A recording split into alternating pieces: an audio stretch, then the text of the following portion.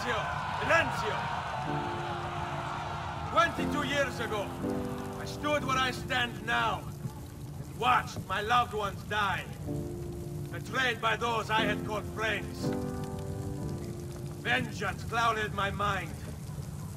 Would have consumed me, were it not for the wisdom of a few strangers. Taught me to look past my instincts Never preached answers, but guided me to learn from myself. We don't need anyone to tell us what to do. Not Savonarola, not the. We are free to follow our own path. There are those who will take that freedom from us. Too many of you gladly give it. But it is our ability to choose whatever you think is true that makes us human. There is no book or teacher to give you the answers.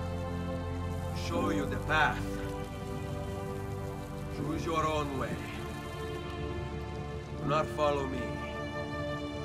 Or anyone else.